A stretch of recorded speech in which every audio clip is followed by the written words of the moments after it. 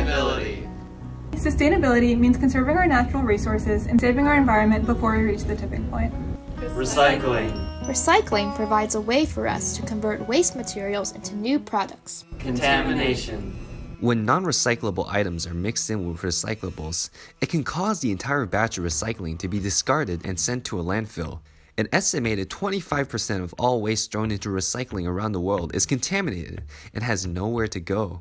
Contamination is also a big problem at our residential school, the North Carolina School of Science and Math in Durham, North Carolina, where we recycle 23.66 tons annually. We've had to take away recycling for periods of time because our percentage of contamination was so high. To date, we have upgraded our recycling bins and distributed posters across campus describing the sources of contamination and the importance of recycling.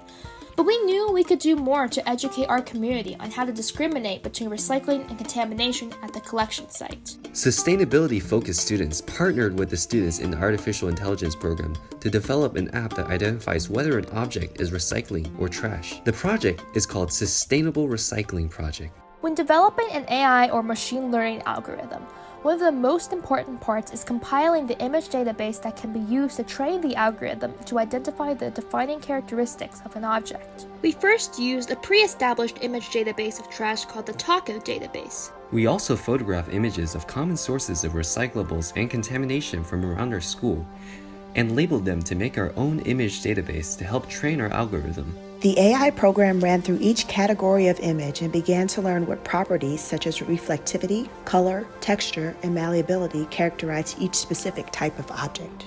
Once enough images were used to train the AI neural network, we were able to test the algorithm and implement it in an app with a live feed that was able to discriminate between single objects with a 70% or greater accuracy. We were also able to implement a prototype version of the app on the Android 9 device that could discriminate between multiple objects in a live feed with greater than 50% accuracy. One benefit to creating an app as opposed to a handheld device or just a sorting bin is our app will be accessible for download on any phone platform. This means that people across the world are able to have an entire database for recycling identification information at their fingertips.